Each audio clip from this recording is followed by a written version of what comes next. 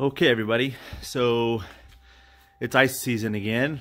Here you can see my Frabill Predator that I've been building the last couple years to use as a sleeper, as a kind of a base camp for ice fishing multiple days. And I'll have another video on that soon regarding some updates we've done to that since the build you can see on my channel. Um, but today we're starting a new heating system. I've been intrigued with these Chinese diesel heaters you can buy. They're knockoffs of the Eberspächer or the Webasto's you can get for boats and RVs and whatnot. And so I've been toying with the idea of making one of these. Uh, you know, my buddy heaters have working great for years, but they do produce extra water vapor. Um, as well as some other inherent issues with combustion. Again, the, the buddy heaters are fantastic. They're, I feel fairly safe with them with the CO2 CO detector in the tent with me and whatnot. But I'm intrigued with the idea of making one of these portable versions of these Chinese diesel heaters. So um, I've got most of the stuff laid out. I've been buying some extra stuff. Uh, my intention here is I want to build this heater such that it fits all inclusive inside this. I think this is about the right size I'm looking at. This is a, I think it's a Remington, no, it's a Plano. Um, uh, you know, plastic tub you can get. I think I got this at Home Depot or Lowe's. I can't remember. It might have been uh, even at uh, Sportsman's Warehouse or somewhere like that. But anyway, it's a nice heavy-duty plastic case with latches. And the idea is I want to build this whole mess such that it fits inside here efficiently, runs well, and uh, uh, I can use it as a portable heater for ice fishing. I will hook up to the the tent here, I've already built an inlet for this window that I hardly ever use op have open. You can see it's got the, uh, the vent that I can turn and twist and point. But the idea is have it all inside this one box. So that said, I did have to get a different tank. This is the tank it comes with, which is a 10 liter tank if I remember right. And it seems like a pretty good tank, but uh, it doesn't quite fit in this box with the uh, with the cap on it. And so I was able to find a slightly smaller version. This is still a seven liter tank. So it's about in between the smaller ones a lot of guys have been using for these and the 10 liter comes with. This is a seven liter tank. And this one actually fits beautifully inside this case. And so it'll go in there. Uh, I haven't decided if I'm gonna use the top uh, fuel outlet for it. There's some benefits there, but also some some cons. But uh, we'll see how that go, plays out when I build it. But uh, this is what it comes with. There's the heater. This is the effluent air hose. This is the um, inlet air hose for the combustion chamber. You've got the exhaust and the exhaust muffler. Probably going to get a second one of those, uh, so I can have two in line. Um, this is the little dosing pump it comes with, and you know various parts and pieces, including I bought this as a this is for a boat. This is the exhaust. This is for a, uh, an exhaust port for a boat, which uh, this is the same size exhaust as these are designed as these heaters are designed for. And so I've got that. I've got a diff. This is the uh, muffler, or it's a it's a silencer slash filter for the air inlet. They're okay, but a lot of folks I know have upgraded these to other filters, and so I've got another air filter coming for that, hopefully in a day or two. Um, so I probably won't end up using that. And then I also, I picked up one of these covers for the pump to help it be a little quieter as well. I've got some other ideas for keeping that pump. Those pumps are notoriously kind of loud for tick, tick, tick, tick noises. So we'll see what I can do to silence that. And then I also, I picked up some of these. This is a three inch uh, hose flange. And then this is a four inch. The influent air for these Chinese air uh, heaters is about three and a half or roughly or so. I can't remember exactly. And then the effluent on it's a little bit bigger. Um, you know, where the hot air comes out is a little bigger. But I bought these because I wanted to. I'm gonna. I got this idea to make. And I modified one side of each. I'm gonna put them together, and these will mount through the inside of the box, and then the heater will actually be mounted to one side and then there'll be a flange sticking out at each side of the box, one for the air coming in, one for the air going out. So I can just hook up, for example, this is the hose I'm going to use to connect the hot air coming out to the tent or wherever I'm sleeping in. Um, and I can hook it up to there, but I can just store this inside the box when it's in transport also. Just take this out, slide it over the uh, flange here. It's going to stick out the side outside the from inside the box. And uh, same thing with the influent because uh, uh, if they're a, if you're ever in a super cold environment and you want to have recirculate the air, so if you want to bring in some of the partly warmed up air from the tent through the heater to warm back up again, you can do that because the combustion exhaust is all separate. And uh, um, so I, I, I want to have a flange so I can hook up a hose to that as well so I can pull air from inside the tent if I want. So anyway, those are you know various parts and pieces, obviously hose clamps. Uh, this is the electrical system that uh, comes with the heater, as, as, well as some hose management uh, stuff I got to clean it off when I get to that point. Um, but yeah, this is uh, what I'm starting with. And uh, we'll cut out here in a minute and I'll get to the point where either I'm in either in a good part of the build or when it's all said and done, we'll show you a video of the whole thing. But uh, this is uh, what we're starting with. See you in a bit. Okay, folks, uh, apologies. I did not take any video of this build during the process. Um, totally intended to, but I'm not a professional. Just uh, sharing with you uh, um, what I'm been doing. So anyway, so it's all done. You'll notice, oh, it all fits in this box. Um, these are these folding, uh, you know, step stools you can get. Uh, I think I got these at Harbor Freight. Um, anyway, uh, we're going to use those, and I'll show you that in a minute. Uh, the, the, whole box sits on here when it's running. But uh, this is the diesel heater box. So uh, as you can tell, uh, this is the box I showed you at the beginning of the video. Everything I showed you and intended to have inside this box is indeed inside this box. Um, this is the 12 volt uh, quick, quick connect right here for the 12 volt power. I'll show you that in a bit here as well. But we'll be able to fit it all in. So what we have on here is on one side, you'll notice there's this is where the hot air comes out um, this is also the exhaust for the combustion chamber. This is a three hole, a through hole fitting you can buy for boats. Uh, and it's designed to go with this these uh, diesel heaters, and so it was the right 24 millimeter size for the exhaust. And what's nice about this is it's got a double chamber system in here, so uh, it allows the hot air to escape this box. It doesn't melt the plastic though because it keeps it cool. So anyway, opposite side is the influent side. Uh, this is a four inch diameter, um, which is standard uh, four inch uh, on the US side. You'll notice if you look inside, hopefully you'll see the, the grate of this kind of the screw on cap for these Chinese diesel heaters is still in there. Um, but this allows me to, if I want to do a recirculation type of a setup, all I have to do is quick connect on here a standard four inch like a dryer vent hose or anything like that and run it into the into the tent uh, or the wherever I what I want to recycle the hot air from, and it'll cycle you know cycle the hot air um, that way. Uh, but I can just run it like this as as the standard um, setup. This is the uh, imp. This is the port for the uh, combustion air uh, influent, and I'll show you that in a second uh, how the filter goes on there. But anyway, it's all in the box. So let's pop open this box, and I'll show you how it came out on the inside and then I'll set it up and we'll run it and let you see it running.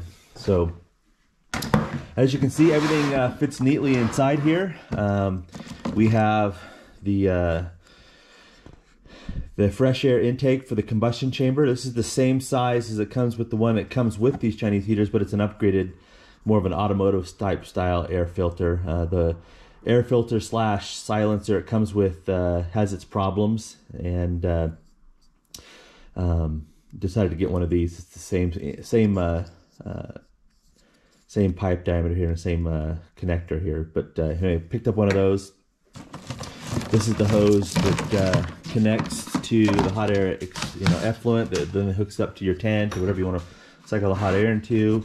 Uh, in here also is the uh, muffler that comes with this, silencer, muffler, whatever you want to call it. I'll show you that hooked up in a minute as well. And then of course the power cord here the, with the controller and whatnot.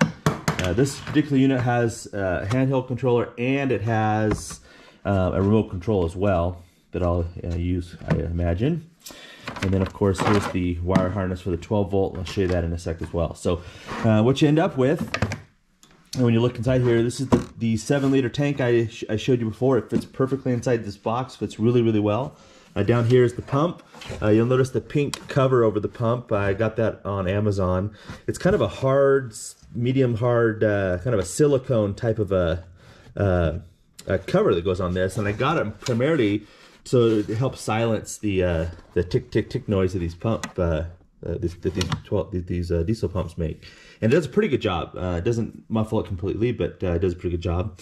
Uh, they've got the fuel filter down there as well. And I decided not to use the fuel uh, um, tube that was already on this particular tank I had bought because it's on the top, which had this advantages, the idea of you know, not having to you know be a leaking point, for example. But I wanted to minimize the amount of hose that was between the tank and the heater um, so I ended up just installing one of the uh, um, fuel uh, spigot, whatever you want to call it, down there. And that, way have a very short run through the filter to the pump and then a very short uh, actual um, nylon fuel line into the heater itself. So uh, you'll notice here's the that through hole fitting that I was for the exhaust. Uh, if you can see there also is the I wrapped the exhaust with uh, it's an uh, exhaust wrap. You can get it for mufflers and whatnot, automotive wraps, and it'll just help reduce the heat a little bit in here. It still gets a little bit warm in here, not like warm warm, but uh, just uh, a little bit of warmth from the you know the heater itself, which, which is great.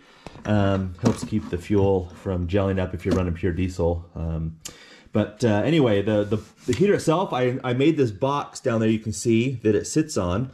Uh, and it allowed give me a spot to mount the pump to, but also it raises this up in the box so that I can have it the heater towards the top of the box, which allows the, of course, the exhaust, which comes out of the bottom to to go out, as well as the air intake to come in and uh, uh and be installed as it's designed to be installed.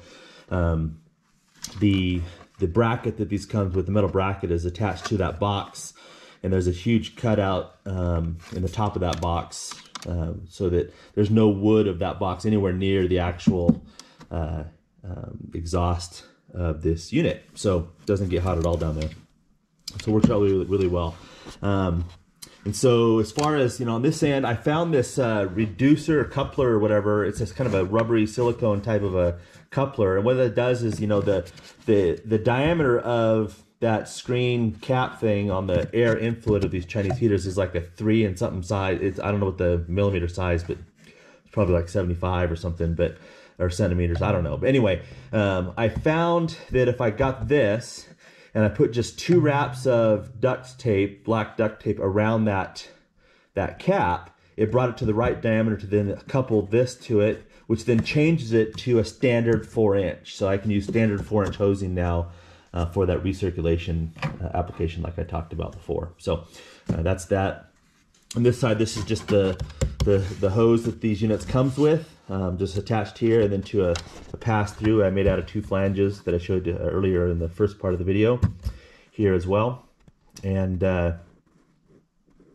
uh, this is what I connect the actual hose to which I'll show you when I get it set up so anyway uh, yeah so seven liter tank it, it's the thing works beautifully actually uh, I'm really impressed with the way it turned out. I'm really happy with the, how compact into this box it is and how just very streamlined and efficient it is. I did leave enough room uh, and on the edge of the uh, the tank and on the sides here. Um, you'll notice because I want on the on the bottom of the box, you'll see I've put a piece of that that foam anti-fatigue type mats you can get for garages and stuff because uh, it's also a really good sound dampener. And uh, the plan is if I as it stands now, the, the ticking noise of this pump actually isn't isn't hard. It's barely noticeable at all. But if I find myself really still bugged by it, I can take this and line the sides and the lid with that same foam material, and it should reduce whatever remaining little tick tick noises I get from the pump uh, sufficiently. So, anyway, so that's uh, really happy the way it turned out. You know, the um, controller is really easy to work with. Again, it comes mine comes with a remote control as well. Um, I've got this wire harness here that I've set up to provide the power. So it has this quick connect here that connects to the this uh, through uh, through uh, connector here that I set up. And uh, I currently have it set up with a couple little uh, spade things. I'm going to use the, the, battery I'll show you I'm going to use for this demonstration. Hooks with that. I can hook it to a regular battery with some alligator clips. And then I also have another one of these set up with a 6 millimeter DC because I plan to run this from my Jackery 500, which has an, uh, a six millimeter DC output uh, on there. So um, one of the things about these heaters is you never want to have them on a source that could potentially uh, lose power. Uh, I don't like the idea of using as a cigarette lighter type of a 12 volt connection because if those get bumped or pop out, um, these heaters, when they shut off, they have to go through a, a, shutdown cycle. And if you if you just shut the power off completely, it'll cause these to overheat and possibly, um, well, very likely, there's a plastic uh, computer housing or computer panel inside here that the control panel it'll melt that and uh, cause all kinds of problems. So you want to have this connected to a constant source of 12 volt power um, and so i'm going to run it off the jackery for that reason. But anyway I'll, let me uh, get it all set up and and running and i'll uh, come back and show you this thing in operation and uh, some additional information. Okay folks. So here's the box operating. It's been running for a few minutes. Currently have it set on the highest setting it has. Um, and I, have got this little 9 amp hour 12 volt battery I'm using just to show you the demo here. Um, but anyway, see this long hose. This is what I'll use to connect this to the tent that I'm going to ice fish out of or my base camp. Um, it's an aluminum aligned PVC heater type thing and it works. Found it on Amazon. It's the right size to fit this weird three something inch size effluent on these, but uh, uh, what I did is I just got these little thumb screw type hose clamps. It makes it really easy to disconnect. Fold that up. But you saw me take that out of the box, it fits inside. But, uh, but anyway, so yeah. So as far as things uh, set up here, so you'll, again, you'll notice I've got this set up on these two uh, folding step stools. The idea being, again, I'm, I'm going to use this a lot for ice fishing um, in, a, in, a, in, a, tent that I've set up for sleeping in. And uh, this will be outside the tent with that hose connected to that inlet I showed you on the tent at the beginning of the video. But uh, anyway, so here's that four inch diameter uh, air inlet. So I, what's nice is if I want to recirculate the air in the tent, it's super easy. All I have to do is hook on a four inch line, run it into the tent. Now I'm pulling air from inside the tent, reheating it more, and out it goes back into the tent. Uh, but as a standard, uh, I don't think I'll need that. I think this is gonna be way more heat than I need for that little tent. But if I wanted to, I could do that. Um, and uh, I'll also, I also have a, a four inch just standard elbow that I'll put on here if it's really wet or really snowy on any given day so that it's still pulling air in, but it's not, you know, it'll protect it from any stuff. But I'm also need to, I'm gonna build a little, a little uh, cover for this air intake for the combustion chamber. So it'll, it'll come, it'll just connect to outside of this box, but then I can take it off and store it inside with everything else, just to keep any snow from falling on top of this air intake. Um, but also with it raised up like this, it won't be next to the snow if any of the snow drifts come up on or anything like that. But uh, but yeah, so I've got the, uh, this is an example of the alligator clips I showed before. Right now it's hooked up just with the uh, little, little connectors that I have for this battery. But uh, that's that side. On this side, you can see this is where the hot air comes out right here. In fact, uh, let me grab temperature right here. This, uh, this, this little uh, muffler or silencer, we would call it, uh, just connects right to the uh, this through this through hole footing that I told you about. It works great. Um, and this the whole this whole ex, exhaust actually slopes gently to this point. This is the lowest point of the exhaust, which is actually a little hole at the bottom of these that you need to have pointed down. Uh, a lot of people miss that when they design these, they have them sideways or upside down or some whatever configuration they want to fit their needs, but this hole really needs to be down that's a, that's a, a drain hole for condensation. Um, but anyway, so yeah, combustion air, you notice there's no smoke and all these things run very, very efficiently.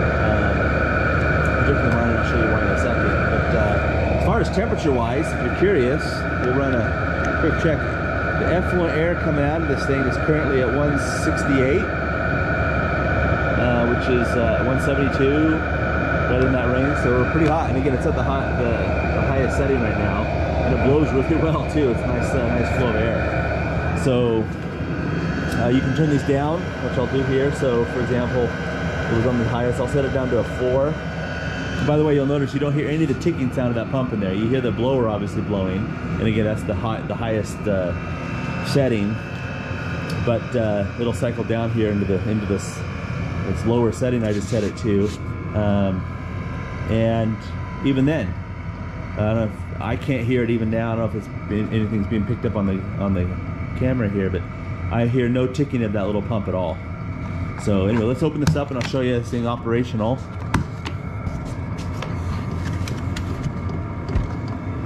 So with the lid off, you probably notice you can hear that pump ticking away now. A little bit with the, with the lid on, it's pretty good. So again, if it gets really bad or if I, if I end up finding myself noticing it more, I'll, uh, I'll just line it with that uh, additional insulation material and that should solve that problem. Um, but yeah, thing runs really, really well. I'm really happy with it. Um, I have to give total credit. Uh, if anybody's interested in doing something like this or interested in these type of heaters, for whatever application you want. Highly recommend you checking out uh, John MCK47, whatever his YouTube channel is. I'll leave a link in the comment section here or the description here. Um, uh, fantastic resource. Uh, I consider him the guru of Chinese diesel heaters. Uh, uh, anybody who's interested in something like this or these heaters, I, I highly recommend you go to his website, his YouTube channel, and check out. He did a whole series of videos that goes start to finish through these these these Chinese diesel heaters, and talks about a lot of things that people get wrong and miss. Uh, things about airflow that are important. He talks about the pumps in particular and how important it is to have the right angle on these, the minimum angle and, and whatnot. Um, he talks about uh, options for fuel. In fact, that's where I got my idea. I'm actually running an 80-20 mix uh, these are designed to run off diesel, but they run off kerosene just as well. The issue, as John calls out in some of his videos, is these pumps uh, are self-lubricating uh, based off of diesel. And so if you run this off pure kerosene, it'll run just fine. Uh, but it will start causing problems with the, those pumps wearing out sooner than they're supposed to. Uh, the metal parts inside will wear out because the diesel provides lubrication. So uh, I don't anticipate gelling being a, an issue with this particular one, even though I'm use it for ice fishing, because again, there's a little bit of warmth coming off of this heater. I mean, I can touch it, it doesn't even, it barely feels like like body heat warmth, uh, and it'll be enclosed. So I think the fuel inside this this uh, box will stay plenty warm. But either way, um, an 80-20 kerosene and 20% uh, diesel mix will solve that problem completely uh, and allows us to run a little bit more cleaner, more efficient. The, uh, the kerosene's just clean, doesn't have a lot of the impurities the diesel does, and so the little uh, vaporizer screen inside of here and the little uh, mechanism to burn in here do need some maintenance from time to time um, if you run just straight off diesels, but particularly uh, dirty diesel. But uh, the kerosene mix hopefully will keep this uh, running nice and clean for a really, really long time before I need to service those few little parts in there. So 80-20 is what I'm going to run in here. It's been running really well so far. Um, you'll notice there's absolutely no smoke coming out of this exhaust and uh, it's very, very clean burning. So uh, anyway, but he, it's one of the comments or one of the suggestions that are uh, lessons learned that John shares in his uh, series is about the uh, the importance of running those pumps the correct way and, and making sure that you can't orient them horizontal, for example, they'll wear out every time, and then uh, so you have to have a minimum angle on them, and he talks a lot about that stuff. So anyway, so that's it running. It runs beautifully, uh, as you can see. Uh, again, I have to give total credit to uh, to John and his his uh, video series that he has on YouTube. Uh, all the lessons learned that I pulled in here are ones that are from him, and then I also saw a lot of these builds folks have done out there, some pros and cons a lot of them had. Uh, I wanted to have this as compact as possible. I've seen people do these in some bigger boxes, or some of them done boxes this size, but mounted the tank on the outside.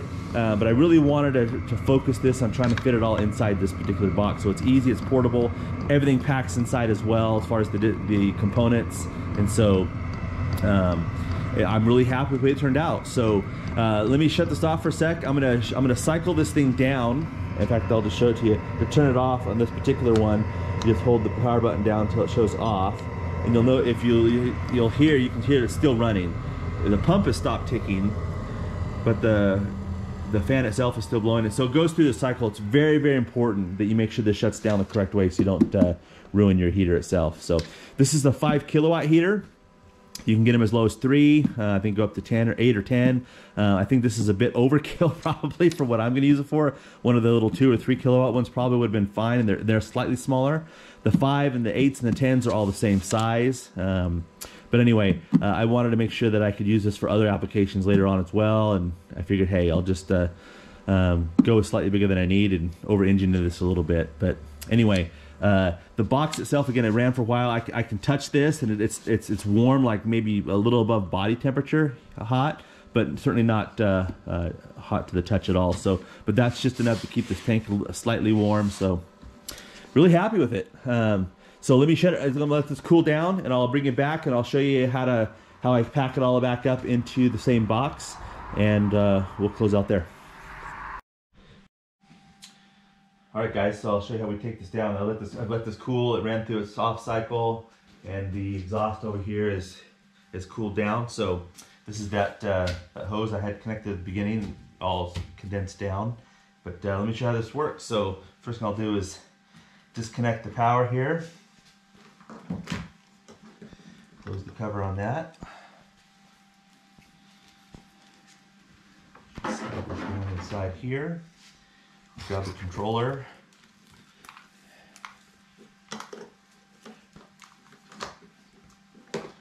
Set it inside. I'm to pop off, unscrew the combustion air intake. Set it inside. This hose fits beautifully right there next to the gas tank. I'll take off the muffler. And just uh, slide it in here void space on this side. alligator clips in there. And then I can simply put the cover back on.